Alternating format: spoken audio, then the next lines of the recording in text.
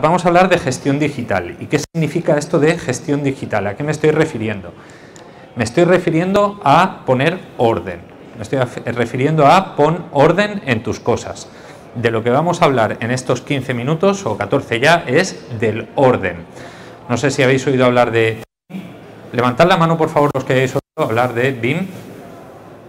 Muy bien. Pues voy a hablar voy a hablar de la fase previa, que es para que la I de información sea cierta, antes tiene que haber un orden en esa un orden en los datos. Vamos a hablar de datos ordenados que nos llevan a tener información.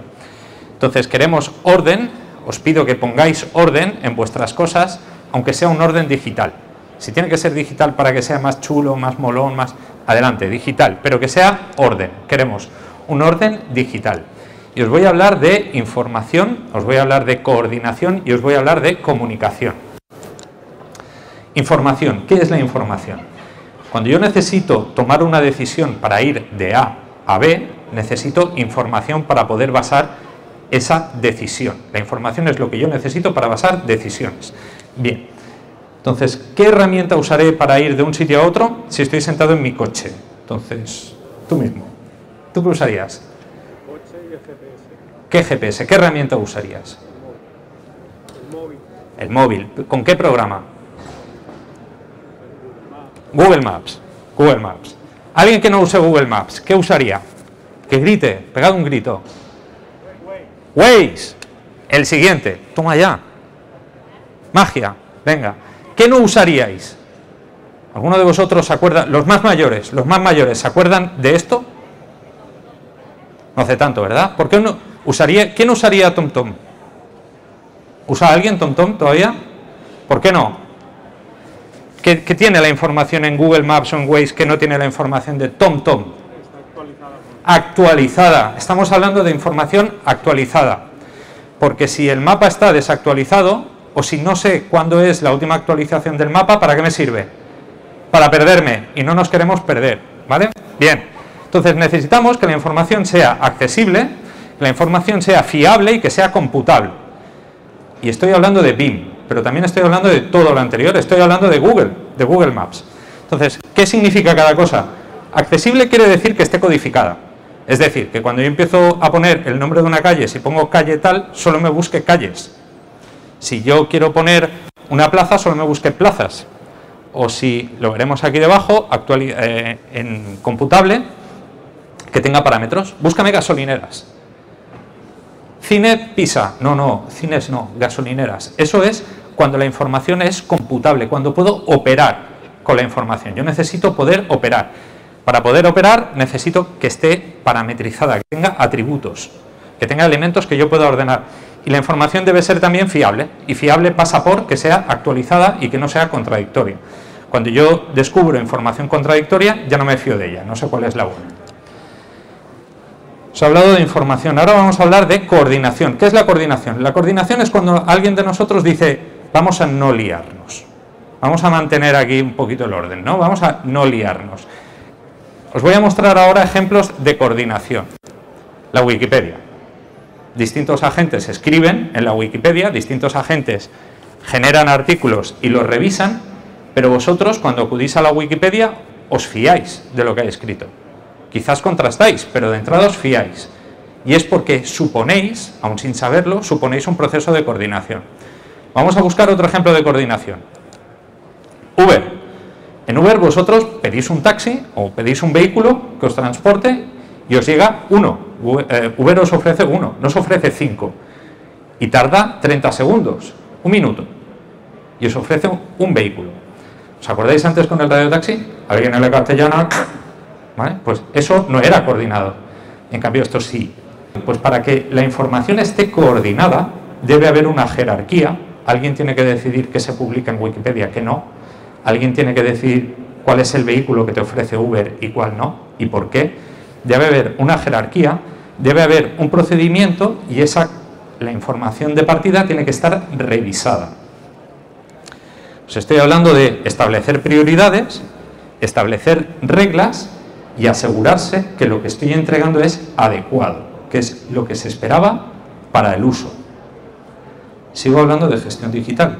sigo hablando de información, sigo hablando de que si lo que vosotros manejáis no cumple esto y no cumple lo anterior en relación a la información, no trabajaréis en BIM, trabajaréis con Revit o trabajaréis con AutoCAD o con CIPE o con distintos elementos, pero no vas a trabajar con una metodología, vais a trabajar con unas técnicas y con unas herramientas. ¿De acuerdo? Por último, vamos a la comunicación. La comunicación responde a esta situación. Cuando alguien dice, a ver, que yo me entere, me estáis liando. A pesar de la coordinación, es, me estáis liando, yo necesito enterarme. Entonces os voy a poner tres ejemplos. Tenemos la página de lotería en la que nosotros introducimos el número y cuando le damos a check nos devuelve si nos ha dado premio o no, si hemos sido premiados o no. Nos comunica, nos está diciendo, nos pone en situación. Hay otra manera, que es con estas tablas. ¿Es bueno o no es bueno esta tabla? ¿Comunica o no comunica? Comunica, ¿no? O sea, necesito, yo tengo un número en la mano, entro en la tabla, me da un premio. Si no está en la tabla, no tengo premio. Vale, comunica. Vamos a ver la tercera manera.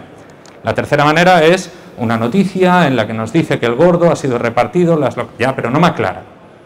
Entonces, a veces hacemos preguntas, preguntamos a modelos, preguntamos a planos, y resulta que lo que nos está devolviendo el modelo o el plano es una serie de datos que yo no necesito. Y aquellos que yo, no, que yo sí que necesito, no los tengo. ¿De acuerdo? Entonces, la comunicación debe ser clara, debe ser agregada y debe ser precisa. Y esto quiere decir que es unívoca, que un dato o una pregunta va a un dato. Agregada dice que, o agregada lleva implícito que la información sea completa. En las tablas que hemos visto, las tablas de la lotería, la información era completa, estaban todos los números. Cuando yo soy un gestor de infraestructuras y tengo que abrir modelo por modelo o veo en un visor en la web modelo por modelo, pero no veo mi infraestructura al completo, no tengo la información agregada. O no tengo una comunicación agregada, luego lo que estoy viendo no es completo, no es completo. Y tiene que ser precisa. Para, que, para poder dar una comunicación precisa tengo que escuchar la pregunta, ¿qué me están pidiendo? Pues contesto en consecuencia, pero no contesto lo que yo tengo, y fuerzo la pregunta para poder contestar la información que yo ya tenía de saque, sino que escucho la pregunta y ofrezco lo que me están preguntando. Bien, pues ya está, ya hemos llegado al final, no sé si de los 15 minutos he ido muy rápido, me sobran cuatro. Entonces tendremos algo de tiempo a preguntas, pero cuando hablamos de eh, gestión digital o de información digital o aspectos de este tipo, BIM, Building Information Modeling, hay que recordar que estar informado es tener los recursos fiables al alcance cuando se pide. Y para esto no hace falta saber ningún programa de modelado, ni hace falta saber ningún programa de coordinación, ni hace falta ningún programa de chequeo de colisiones. Hace falta tener claro lo que es la información fiable y tomar la decisión de si, si estamos en disposición ya de poder entregar una información fiable o de coordinar. Si no, estamos trabajando con datos. Entonces, ¿qué tenemos? BIM o BDM. ¿Es I de información o D de datos? Ese es el punto de partida y a partir de ahí usamos cualquier programa de modelado. Pero si no tenemos la información en estas condiciones, no podemos trabajar. Próximos pasos. Final de la presentación. Próximos pasos. Las preguntas que me queréis hacer si las queréis. Y el siguiente es que nos vengáis a ver.